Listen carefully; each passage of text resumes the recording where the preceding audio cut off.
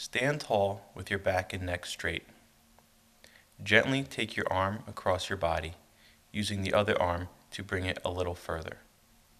Hold at a mild to moderate stretch for 15 to 30 seconds. This stretch can be alternated, bringing your arm slightly higher or lower. Repeat with the opposite side.